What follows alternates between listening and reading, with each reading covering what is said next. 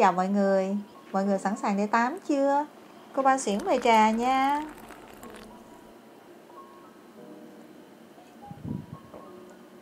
Hôm trước á, Stella có kể cho các bạn nghe cái bộ phim là xảy ra bên Italy và sau đó là một cái bộ phim quay ở bên Pháp. Hôm nay Stella sẽ đưa các bạn trở về đất nước Trung Hoa xinh đẹp, trở về cái thời kỳ mà nói ra chỉ có ghét và ghét thôi. Thời kỳ mà cái vị trí của người phụ nữ trong xã hội nó không là cái gì hết các bạn. Nó như cái hạt cát vậy đó, nó bị dùi dập, nó bị chà đạp. Đây là một cái bộ phim nổi tiếng của đạo diễn Trương Nghệ Mưu, một đạo diễn tài hoa với sự diễn xuất tài tình của nữ diễn viên xinh đẹp Cũng Lợi nói tới trương nghệ mưu và cũng lợi là giống như một cặp đôi ăn ý là hai cái tên này bao giờ cũng phải đi liền với nhau phim của trương nghệ mưu á khó mà thành công nếu như mà thiếu sự có mặt của cũng lợi và tài diễn xuất của cũng lợi sẽ không có nổi bật nếu như không được đạo diễn bởi trương nghệ mưu phim này là được quay ở tỉnh thiểm tây tại ngôi nhà cổ của dòng họ kiều. Ngôi nhà kiến trúc xưa cổ rất là đẹp. Trương nghệ mưu rất là hay khi mà ông chọn cái ngôi nhà này để quay bộ phim này. Thế nhưng khi mình xem phim á, mình lại không nhìn thấy cái nét đẹp của nó, mà mình lại thấy nó rất là nặng nề tông tối bởi đạo diễn không muốn cho mình xem vẻ đẹp của cái kiến trúc của ngôi nhà cái đạo diễn muốn cho mình thấy chính là cái sự u uất đè nén trong những con người sống trong cái ngôi nhà đó. Một cái ngôi nhà mà sặc mùi ghen tuông của bốn người đàn bà chung sống dưới một mái nhà. Bộ phim có tựa đề là làm đèn đỏ treo cao của đạo diễn trương nghệ mưu.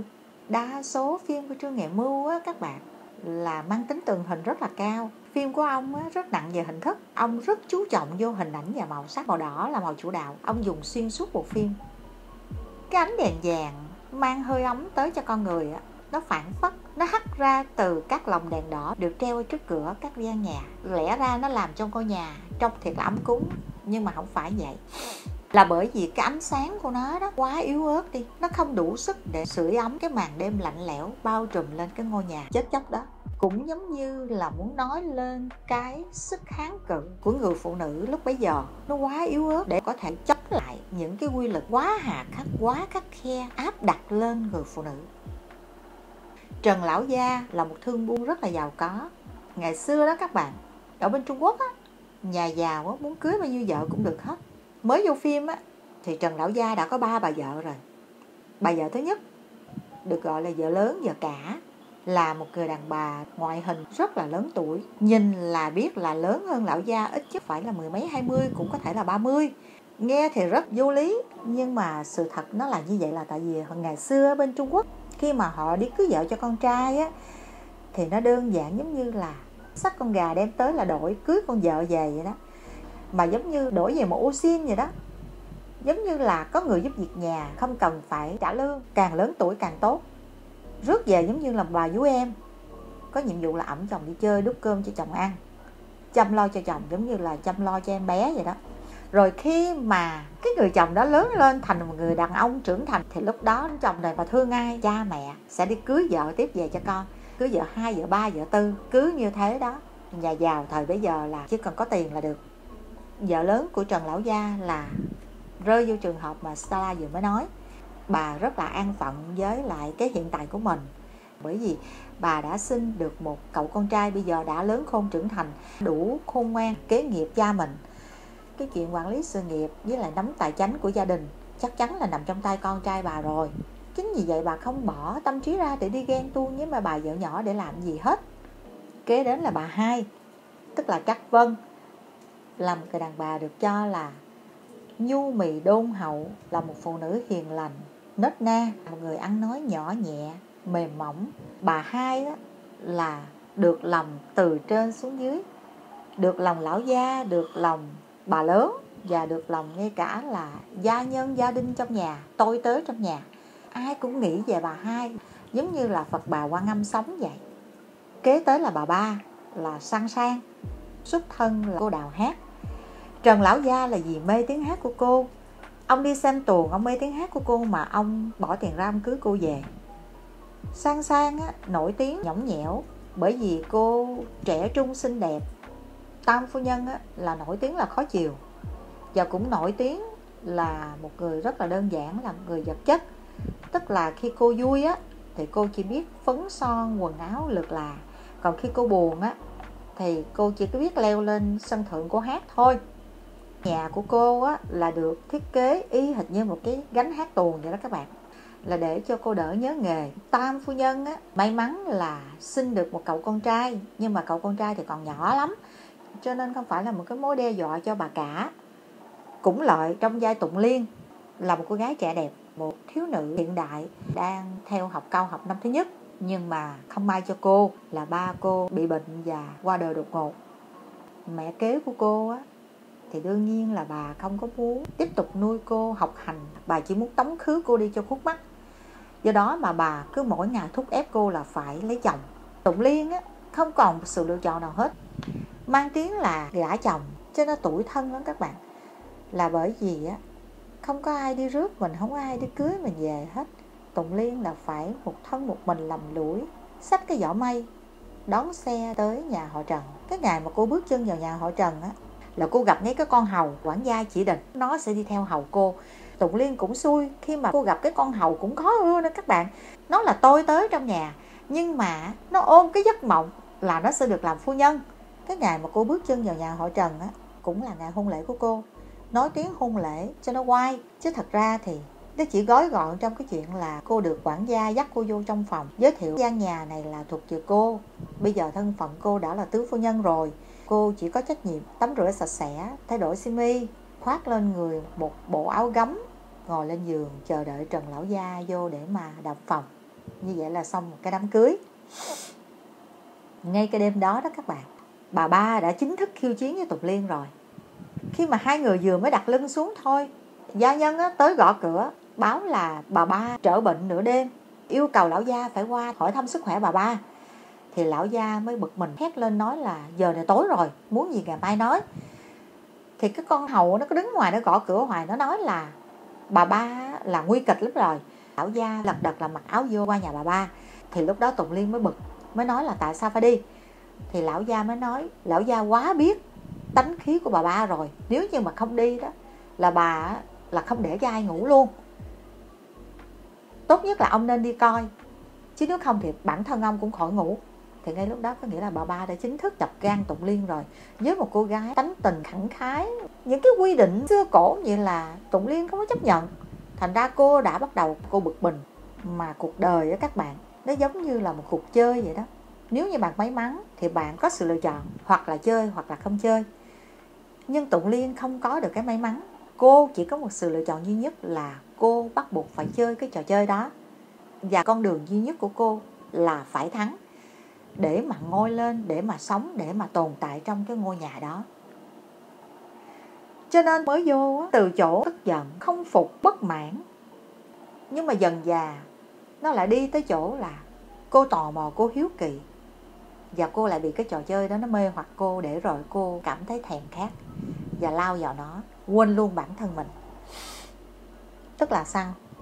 Tức là ngay từ đầu cô cảm thấy là tại sao cô phải cần cái người đàn ông mà cô không có yêu thương. Nếu như trần lão gia mà bỏ qua bên tam phu nhân thì càng tốt, là cô được yên thân, cô ngủ mình, ngủ khỏe luôn các bạn.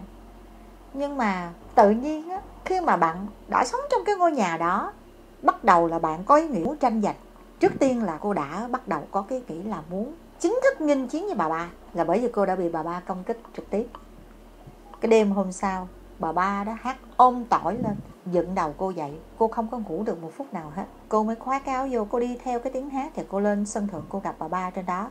Đó là lần đầu tiên hai người phụ nữ gặp nhau. Bà ba nhìn cô, bà ba mới nói là, xinh đẹp lắm, thảo nào trần lão gia không mê. Tụng liên chưa kịp nói tiếng nào hết thì bà ba quay lưng bỏ đi.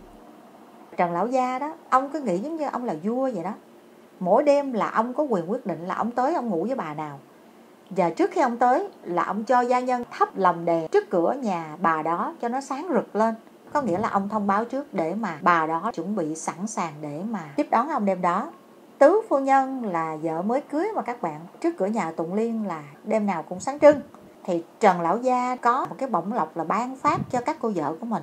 Bà nào mà đêm đó là được ông tới ngủ chung là ngày hôm đó, bà đó sẽ được một suất foot massage tức là massage chân á tại vì quan niệm của ông là khi mà bàn chân mà được massage đó thì tất cả các huyệt đạo ở dưới lòng bàn chân là được thông. Từ đó mà cơ thể cũng khỏe khoắn hơn sẽ hầu hạ và chiều chuộng người chồng mình tốt hơn. Các bạn thấy không? Tiếng là ban phát cho người phụ nữ. Thế nhưng cái người hưởng thụ lại là người đàn ông. Nghe là thấy ghét. Tùng Liên á, ngày nào cô cũng được massage chân hết thì có một bà nổi tiếng là massage trong làng. Bà cầm cái đôi bộ gõ bằng gỗ, bà cầm bà gõ cốc cốc cốc cốc cốc kìa nè.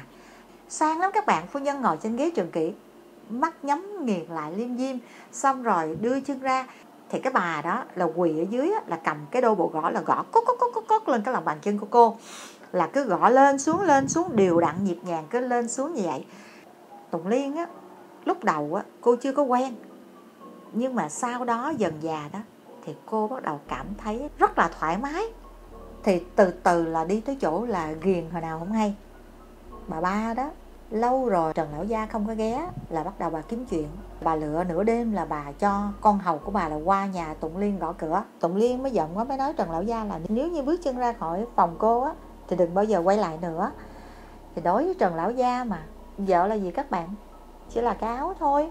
Thích thì mặc, không thích thì cởi ra, còn không thích nữa thì thay cái áo khác đúng không các bạn? Khi mà tụng liên cấm cửa không cho ông quay lại, thì ông qua bên bà ba mở luôn. Các bạn biết không? Giống như người ta nói, ăn quen cái nhịn không có quen.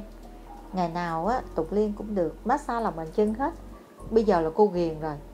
Khi mà lão gia không ghé cô, có nghĩa là cô không được massage nữa. Tự nhiên đâm ra cô nhớ. Thì cô mới kêu cái con hầu á, massage chân cho cô. Mà cái con đó đó là nó lì lợm, nó cứng đầu, nó trả treo với cô, nó nói là nó không biết làm. Các bạn có biết là mỗi lần mà nó đi giặt đồ cho tụng liên là nó phun nước miếng vô áo quần của tụng liên không? Nó làm những cái trò mà rất là sắc sự rất là hỗn láo. Mà thêm một cái quy luật này nữa là các bạn. Bà vợ nào mà tối đó ngủ với lão gia thì sáng mai được quyền chọn món ăn cho ngày hôm đó. Quy luật của nhà là phải ăn cơm chung, gồm có lão gia và bốn bà vợ, tức là năm người ngồi ăn chung thì hồi nào giờ á, tụng liên kể từ ngày mà cô đặt chân vô nhà đó là cô được lão gia chiếu cố cô hàng đêm. Do đó, ngày nào cô cũng là người chọn món ăn. Mà tụng liên á, thì rất thích ăn cải bó xôi với bà hủ. Cô chỉ chọn những món ăn mà cô thích. Mà bà ba thì lại thích ăn thịt. Thì đã chọc gan bà ba rồi. Thì đến khi cô cấm cửa không cho lão gia tới cô á, thì lúc đó bà ba được nước là ngày nào bà ba cũng chọn thịt là không có một cọng rau nào hết. Cho nên tụng liên mới tức khi mà lên bàn cơm tụng liên hỏi là, rau cải đâu? Thì bà ba mới nói là, cô không có quyền chọn món ăn ngày hôm nay, thành ra cô đừng có hỏi. Trên bàn có gì thì cứ ăn cái nấy đi. Tụng liên mới tức, mới đặt cái đôi đũa xuống bàn, xong rồi cô đứng dậy cô bỏ đi, cô nói cô không ăn nữa. Cô mới bỏ về phòng. Thì ngày hôm sau á, lão gia nhớ cô thì lão gia mới tới tìm cô. Và ngày hôm đó thì cô lại mở cửa cho lão gia vào là lý do tại sao? Không phải là cô nhớ lão gia. Cô không có yêu thương gì cái người đàn ông này hết. Cho nên á, lão gia không ghé càng tốt. Chỉ có điều là nếu lão gia không ghé là cô bị tước đi những cái quyền mà bây giờ cô đã quen với nó rồi bắt đầu cô thích nó rồi. Chính vì vậy mà cô muốn lão gia quay trở lại. Nhưng đó không phải là cái chuyện lớn khiến cho cô muốn lão gia quay lại với cô, mà cái chuyện lớn nhất vẫn là cái con hầu nó chọc tức cô. Cái con hỗn láo sức sượt đó. Mỗi khi tụng liên muốn uống một ly nước là phải kêu nó tới khô cái cổ cũng không thấy nó đâu.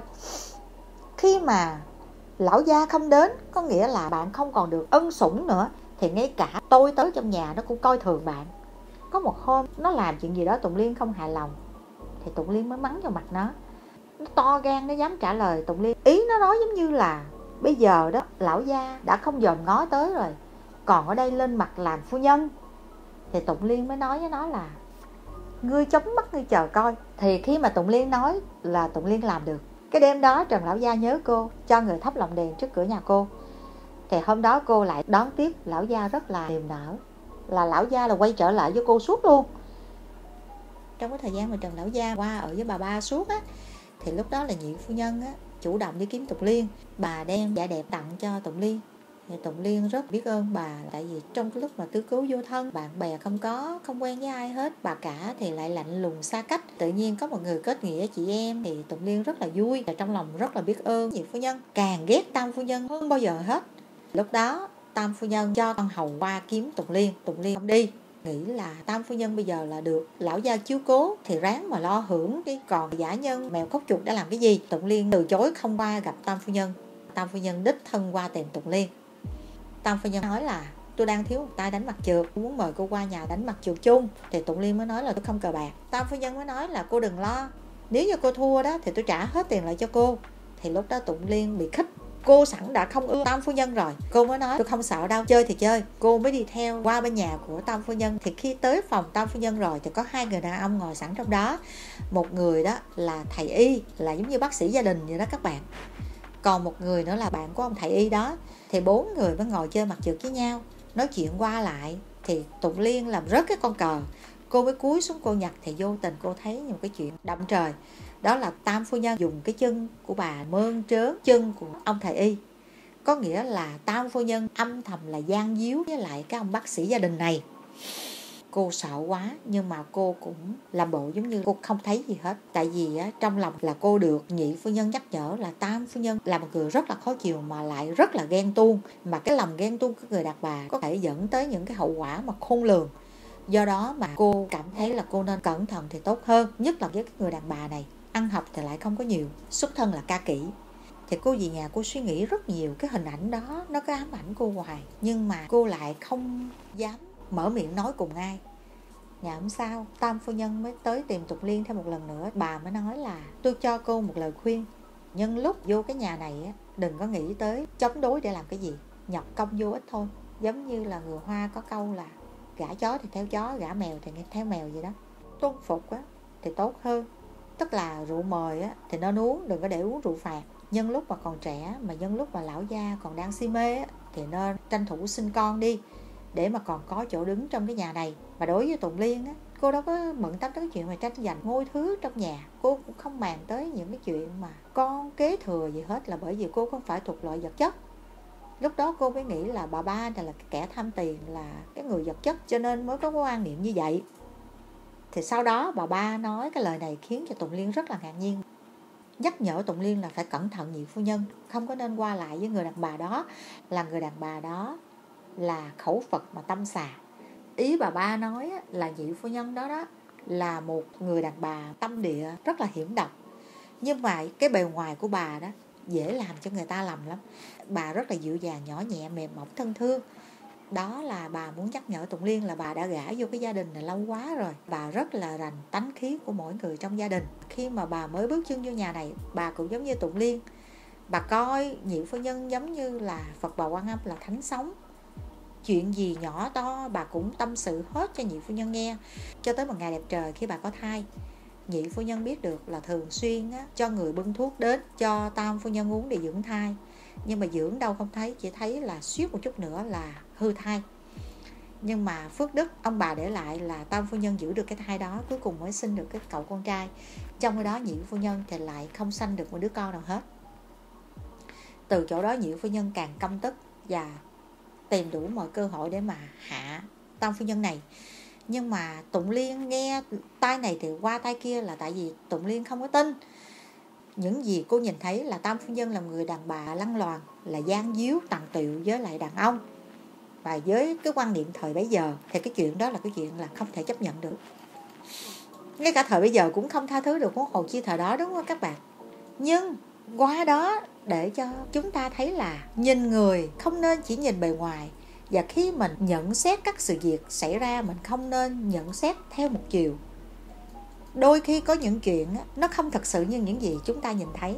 Tam phu nhân, ngay cái lúc bà được lão gia ở bên bà 24 trên 24 với cái tánh khí của bà là cái người mà nhõng nhẽo, thì lúc đó là cái lúc là bà phải nên không thèm nhìn mặt Tụng Liên mới phải tại sao bà còn đi tìm tục Liên để mà bà cho tục Liên lời khuyên? Chẳng qua là bà thấy nhị phu nhân tìm cách tiếp cận với tục Liên là bà lo lắng cho tục Liên. Đó là thể hiện cái tâm lành trong cái con người của Tam phu nhân. Con người mình đó các bạn, mình hay lầm lẫn giữa cái hiền, cái dữ với cái thiện và cái ác. Một người khi bạn nhìn thấy người ta ăn nói nhỏ nhẹ tự tốn, ít nói, có vẻ nhún nhường, bạn nghĩ họ hiền. Nhưng một người nhẹ nhàng, không có nghĩa là người ta không nham hiểm. Hiền hay dữ đó chỉ là nói lên cái tánh tình của mỗi một người. Chứ không có nói lên là người đó thiện hay là ác. Thiện là phải nói tới cái con người lương thiện, ác là phải nói tới cái ác tâm. Người dữ, chưa chắc là ác tâm.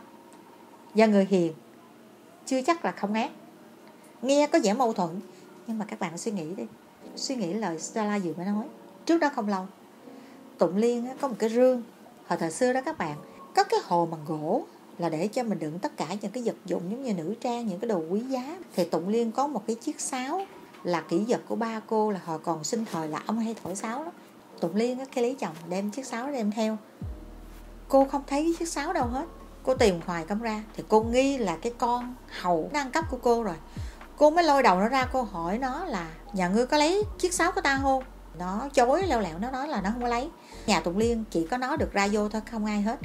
Tụng Liên mới lôi đầu nó về phòng nó lục soát hết nguyên cái phòng ngủ. Khi mà Tụng Liên mở cửa bước vô phòng nó thì trời đất ơi cái giấc mộng mà làm phu nhân ám ảnh nó ngày đêm hay sao đó. nó treo lòng đỏ kính hết cái trần nhà đó thì hình như cái chùa luôn. Tụng liên đứng sững người luôn tại cái chuyện đó chỉ có nước lôi ra đánh chết thì thôi. Nhưng mà mặc dù cái bề ngoài của cô á, có vẻ là hung dữ hơn thua là không có tha thứ cho ai hết nhưng đụng chuyện thì mới thấy cô mới là một người nhân hậu cô mới nói là cái chuyện lòng đèn cô không truy cứu. Cô chỉ cho nó cơ hội là tháo hết những cái lòng đèn xuống. Và nó phải trả chiếc sáo lại cho cô. Thì nó mới nói là sự thật là nó không có lấy chiếc sáo đó. Thì cô mới giận quá. Con này tới giờ phút cuối cùng vẫn còn lì. Cô mới nhào tới cô mở cái rương nó ra thì cô không dám tin vô mắt mình. Hồi thời xưa người ta tin á, ghét ai á, là mình ẻm xì bùa người đó là người đó có thể mà phình bụng lên mà chết ví dụ như vậy. Thì á, cô phát hiện là trong cái rương của cái con hầu này có một cái hình nhân mà trên cái hình nhân đó là đề tên Tụng Liên và cắm đầy mấy cái kim hết á. Đâm mũi, đâm bụng, đâm tim, gan, phèo phổi của Tụng Liên. Nó ếm cho Tụng Liên chết. Tụng Liên giận quá. Cô tán cho nó mấy bật tay, cô nắm đầu nó, cô đập nó xuống giường, cô đánh nó tơi bời qua lá hết trơn. Nhưng mà cô đánh nó xong á, thì cô ngồi phịch xuống đất. Cô mới xin lỗi nó là, ta không có quyền đánh ngươi. Tại lúc này lóe lên trong đầu tụng liên một cái dấu hỏi thiệt là lớn. Thân phận nó là tôi tớ, đương nhiên là nó không được đi học rồi ngay cả bà ba còn chưa được đi học nữa mà. Bà hai chưa chắc đã được đi học. Nhị phu nhân, tam phu nhân còn chưa chắc đã được đi học. Được nói chia mà cái thân phận tôi tớ. Thì làm sao mà nó biết viết tên Tụng Liên trên cái hình nhân đó?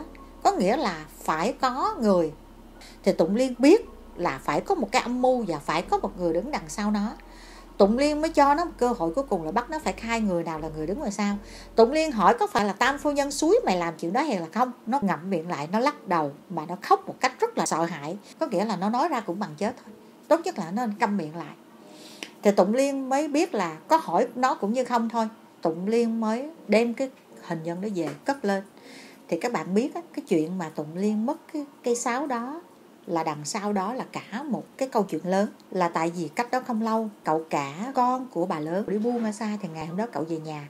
Tình cờ cái hôm đó đó Tụng Liên á, buồn chán khi mà lão gia không ngó ngàng tới cô nữa. Lúc đó cô mới có thời gian để đi tham quan ngôi nhà.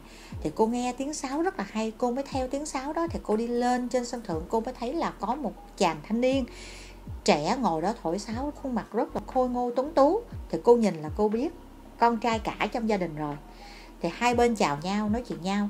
Thì người đàn ông đó có vẻ là giữ khoảng cách lắm. Thì đứng trước một cô gái trẻ trung xinh đẹp mà hồi thời đó mang tiếng là má nhỏ của mình. Nhưng mà thật ra cậu này á, tuổi còn lớn hơn Tụng Liên thì nhìn Tụng Liên ngay từ ban đầu là đã mến Tụng Liên rồi. Sau đó thì hậu cả cao lui. Nhưng mà cái cuộc nói chuyện của hai người đó đã có một người thứ ba nhìn thấy tạm thời mình chưa biết là ai. Nhưng mà cái người giấu mặt đó cố tình vào phòng lục lọi đồ của Tụng Liên. Nhìn thấy chiếc sáo, mới ăn cắp chiếc sáo đó, giữ làm tan vật để mà sau này chụp mũ, nói cô là gian díu với lại cậu cả trong nhà. Bây giờ các bạn đã hiểu được cái vấn đề chưa? Tức là cái người giấu mặt là cái người vô cùng nham hiểm. Khi mà Tụng Liên đi lang thang trong cái ngôi nhà đó đó, thì căn nhà đẹp lắm các bạn. Nhưng mà nó đẹp trong mắt của người phụ nữ, nghĩ là họ đang sống trong nhung lụa, họ đang ăn sung mặc sướng có một cuộc sống ấm êm, đang làm phu nhân. Nhưng đối với một người phụ nữ đương thời giống như Stella và các bạn nữ mà đang nghe Stella kể chuyện, thì đó là một cuộc sống nô lệ nô lệ tình dục, không hơn, không kém. Tụng Liên đi vòng vòng coi thì cô vô tình phát hiện có một cái phòng nhỏ dán nhện văng đầy mà nó quan tàn lắm, mà nó có một cái ổ khóa, nó khóa từ bên ngoài. Khi cô nhìn qua cái khe cửa thì cô thấy bên trong đó có một đôi dài dải của phụ nữ mà không thấy ai trong đó hết. Thì cô nghĩ là căn nhà bỏ hoang. Thì cô mới đi xuống, đang đi xuống thì cô đụng mặt quản gia. Cô mới hỏi thì quản gia mới nói là đừng bao giờ bước chân tới cái căn phòng đó nữa. Mọi người trong nhà đó đồn đãi là căn nhà đó có ma. Cô cũng có một phần sợ và cô không có bao giờ bước chân tới cái khu vực đó nữa. Tụng liên có một cái sai, mà cái sai này nó đưa tới cái kết cục bi thảm của cô. Cô cứ muốn giữ lão gia bên cạnh mình mà cô bày trò đã là cô mang thai khi mà cô mang thai rồi thì giống như là mang thai rồng vậy các bạn. Người hoa họ mê cái chuyện nói giỏi tông đường lắm. Có 10 đứa con, hai chục đứa con mà vợ mình có thai vẫn mừng như trúng số độc đắc vậy các bạn. Thì lúc đó tứ phu nhân giống như bà hoàng ở trong nhà vậy đó. Thì bây giờ tụng liên nói là tụng liên ghét không muốn nhìn mặt ai hết, muốn ăn trong phòng thôi. Là lão gia lập tức là cho người đem cơm vô phòng, cho tụng liên ăn tại giường luôn điều đó càng khiến cho tam phu nhân điên tiết lên. Là tại vì cái quy luật đó chưa bao giờ có trong cái gia đình này. Mà tụng liên vô á, là không theo quy luật mà phá hết những cái kỷ cương từ xưa tới bây giờ. Bà ba mới nói là, được, bắt đầu từ ngày mai trở đi. Bà ba cũng ăn cơm trong phòng. Các bạn biết không? Mọi chuyện á, nó không như người tính. Tụng liên quên là tụng liên đang có một con ong trong tay áo mình. Cái con hầu khốn kiếp đó, bình thường á, nó lười nhát lắm. Nhưng mà thời gian này nó xiên đột xuất á nó ôm hết áo quần tụng liên đi giặt. Mà cái quần trắng của tụng liên là cô đã cố tình cô giấu lên rồi. Khi mà bạn có thai thì bạn đâu thể nào mà có kinh nguyệt, đúng không? Khi mà nó giặt cái quần, nó phát hiện ra quần có máu, có nghĩa là một là hư thai, hai là không có thai. Nếu như cái chuyện này mà tới tay một cái kẻ giấu mặt, coi như là tụng liên gặp nguy hiểm rồi, thì cái con hầu á, nó đã ghen ghét tụng liên ngay từ đầu rồi. Đây là cái cơ hội ngàn vàng. Nó đem cái chuyện đó nó đi tâu cho cái người mà đứng sau lưng nó. Y như rằng qua ngày hôm sau nhị phu nhân tới tìm Tụng Liên. Bà hay tin là Tụng Liên có thai bà muốn hỏi thăm sức khỏe và thấy sắc mặt Tụng Liên không tốt, bà đã cho mời Lan Y tới để mà khám thai cho Tụng Liên. Có nghĩa là 50% cái người giấu mặt là nhị phu nhân rồi. Lúc này là Tụng Liên là đã cởi lên lưng cọp rồi. Cô mà leo xuống thì chỉ có nước là cọp cắn cô chết thôi. Mà ngồi trên đó thì cô như ngồi trên đống lửa. Thầy y vô khám cho cô xong, ông đi tìm lão gia dạ ông nói, không biết phải nói như thế nào. Sự thật là tụng liên không có thai. Lão gia đùng đùng đùng đùng nổi giận. Ông cho gia nhân đem tất cả những cái bao to màu đen, trùm kín hết những cái lồng đèn trước cửa nhà tụng liên. Có nghĩa là từ rày sao cô đừng mơ tới cái chuyện mà lồng đèn trước cửa nhà cô mà được thắp sáng. Tức là đen tối, từ giờ trở đi sẽ bao trùm trên ngôi nhà của cô. Giống như là số phận của cô đã được định từ bây giờ là nó sẽ đen tối như vậy đó. Tụng liên các bạn lúc này bị rơi xuống cái cảnh ngộ như vậy. Cô như con thú bị thương. Cô sẵn sàng phản công bất cứ lúc nào. Cô không còn gì để mất nữa. Cô cũng không cần quan tâm là cái kẻ đứng sau lưng là ai. Nhưng mà cô nói, cô phải xử cái con hầu này trước. Sáng sớm tinh mơ, cô cho mời bà cả, bà hai, bà ba, cô cho mời hết. Và cô lôi đầu cái con hầu tới phòng nó. Cô lôi hết tất cả các lồng đèn, vứt ra ngoài sân và cô vứt cái hình nhân mà nó ghi tên cô. Bây giờ, lão gia đã đi rồi thì đại phu nhân là người toàn quyền quyết định sinh sát trong tay.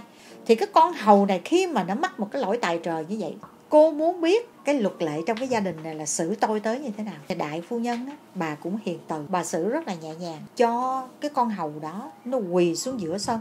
Lúc đó đó là tiết trời đã vô mùa đông rồi các bạn. Con hầu đó nó bị bắt quỳ xuống giữa sân tuyết tuyết đổ dày lên tới gối. Và nó nhìn tất cả các lồng đèn của nó nó nhìn cái giấc mộng của nó bị thiêu rụi thành một cái đống tro tàn. Và bà cả bắt nó phải lên tiếng xin lỗi tùng liên. Cái lòng ganh ghét của con người nó biến con người không còn là con người nữa thậm chí có thể thành ác quỷ. Cái lòng ganh ghét của cái con hầu mạnh tới mức á, nó thà chết chứ không xin lỗi phu nhân của nó. Các bạn biết không? Nó quỳ cho đến khi mà nó gục xuống cái sân tuyết đó luôn. Thì quản gia mới cho gia nhân đem cán tới khiêng nó đi và lệnh của lão gia truyền xuống là có phải tốn bao nhiêu tiền, có phải đưa nó đi kiếm bao nhiêu thầy y giỏi nhất trong làng, cũng phải đưa nó tới để cứu nó sống là tại vì không muốn để tiếng đồn ra ngoài là cái gia đình này là tàn ác với gia nhân, là bị hành hạ cho tới chết. Không bao lâu sau đó là ngày sinh nhật của tụng liên, cô chịu không nổi sự cô đơn lúc đó là một bà già là được thay thế cho con hầu này tới để hầu hạ tụng liên. Khả năng hầu hạ cũng không có, thì tụng liên mới kêu bà là đem rượu tới cho tụng liên giải sầu uống tới say mềm, say khước. Tụng liên lúc đó tại sao mà uống tới say mềm, say khước như vậy? Cái chuyện cô cô đơn chỉ là một phần nhỏ thôi. Một phần là cô quá sợ hãi khi mà cô nghe cái bà hầu mới của cô, bà báo tin cho cô biết là con hầu khi mà đưa nó ra khỏi nhà là nó chết luôn rồi. Cô nghĩ là cô đã gián tiếp hại chết một mạng người. Và bây giờ mỗi người trong nhà, từ trên xuống dưới cho tới kẻ ăn người ở trong gia đình đều nói là tứ phu nhân là một kẻ độc ác cô nghe tin đó, cô rất là đau khổ. Cô đã không muốn chuyện đó đâu. Và thêm một cái nữa mà nó đè nén cô bao nhiêu lâu nay. Cái chuyện mà tam phu nhân là tằng tiểu gian díu với người đàn ông bên ngoài. À vẫn ngang nhiên, vui vẻ, cười cợt trước mặt cô.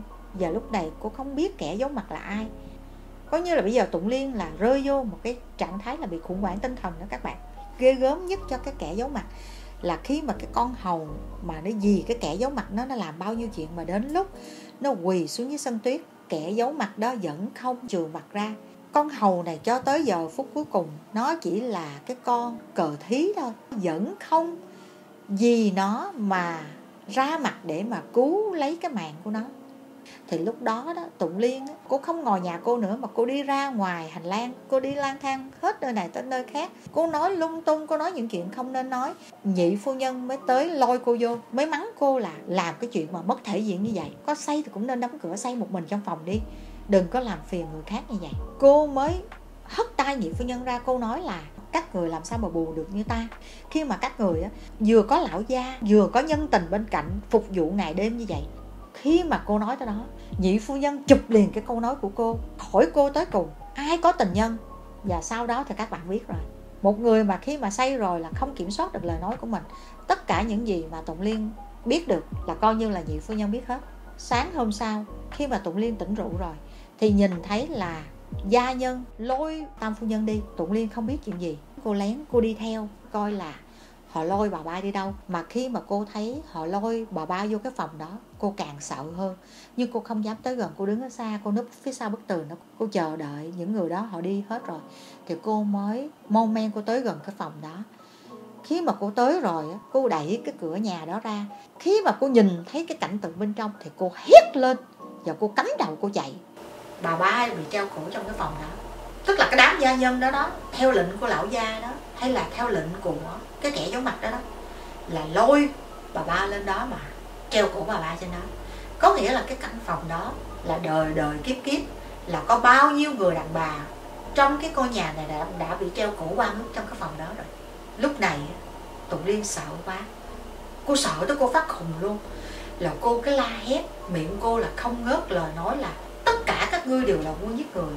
Sau cái ngày đó cháy nhà từ lòi mặt chuột lúc này là người ta thấy là đèn trước cửa nhà bà hai là thắp sáng liên tục, coi như là lão gia là ở suốt với bà hai. Có nghĩa là sao? Cái kẻ mà giấu mặt từ nào tới bây giờ chính là bà hai chứ không phải là bà ba, mà cũng không phải là đại phu nhân. Cho chúng ta một bài học về cái chuyện mà nhìn người, về những sự việc mà nó xảy ra đối với mình.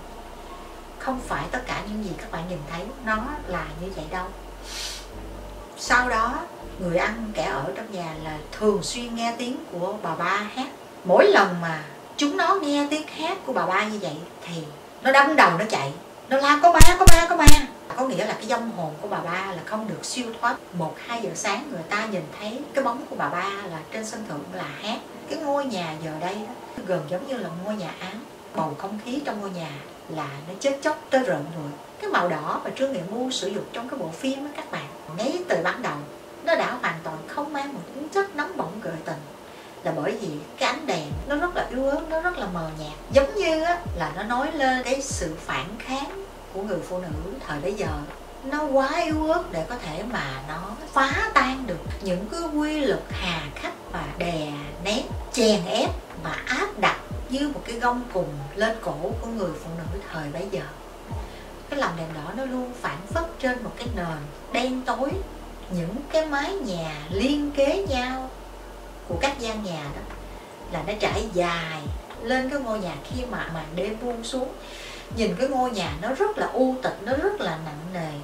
Giống như nó báo hiệu cho một cái tương lai mờ mịt của bất cứ người phụ nữ nào bước chân vô cái ngôi nhà này, vô căn nhà đó là chỉ có như một cái bóng âm thầm chờ cho tới ngày chết thì thôi.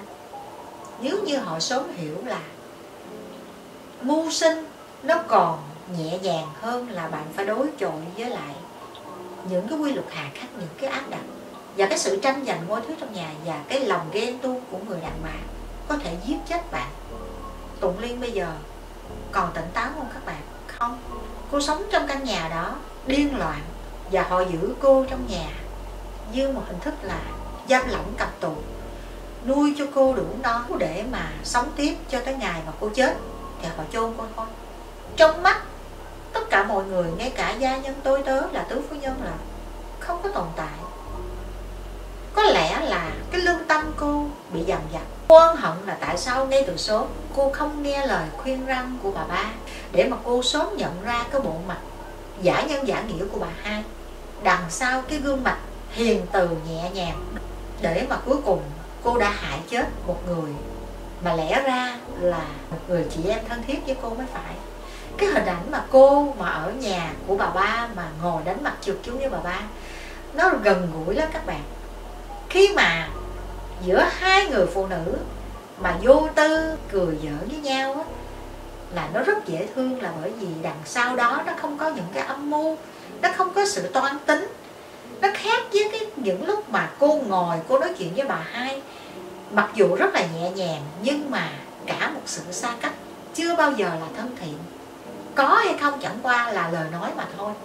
Thì cái cảnh của một cô gái lạ mặt, là ngũ phu nhân, ngồi trên cái giường để mà chờ đợi Trần Lão Gia đến động phòng với cô, đã khép lại cái bộ phim Lòng đèn đỏ treo cao ngày hôm nay. Sala hy vọng là các bạn có một buổi tối thật là đẹp. Ba xuyển, bye bye các bạn. Hẹn gặp các bạn lần sau. Bye bye.